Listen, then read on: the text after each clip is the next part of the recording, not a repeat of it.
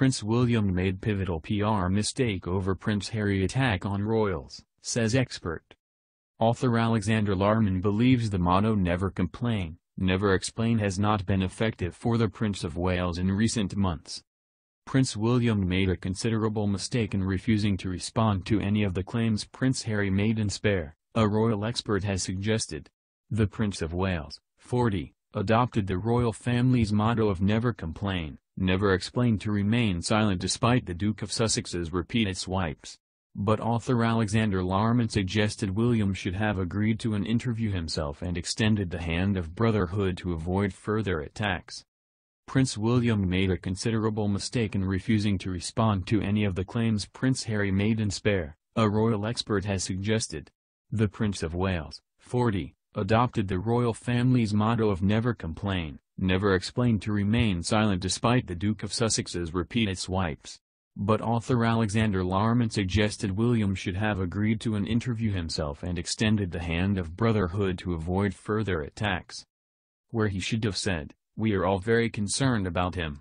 We understand he had the most awful, traumatic shock when our mother died so young. We know life has been hard for him. The thing is the royal family's motto has always been never complain, never explain and that's done for them very well.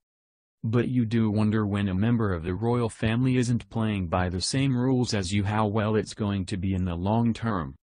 The royal commentator, author of The War of Windsors, suggested responding directly to Harry's claims could be the only strategy available to the firm.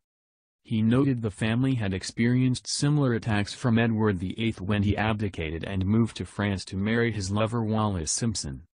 Larman appeared to suggest the king and William might have to opt for reconciliation to keep Harry from becoming a loose cannon as the Duke of Windsor did. He told Royal US, it was the same thing with the Duke of Windsor, he wasn't playing by any of the established rules because they'd all been torn up for him. And so there wasn't an awful lot the family could do in order to rein him in.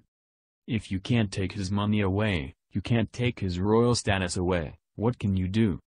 The king has extended an olive branch to his younger son and Meghan, the Duchess of Sussex by inviting them to his coronation in May. But the couple have yet to confirm whether they will participate, and the Duke of Sussex's ongoing battle against the Mail saw further allegations against the firm surface only this week. The Duke, 38, claimed the institution had been conditioning him not to ask too many questions about alleged hacking against him and other royals. One source claimed Harry's latest allegations have only cemented the Prince of Wales's belief that his brother is committed to embarrassing their family. They told the Daily Beast, William is over it at this stage. If this was about his vendetta with the Mail that would be one thing.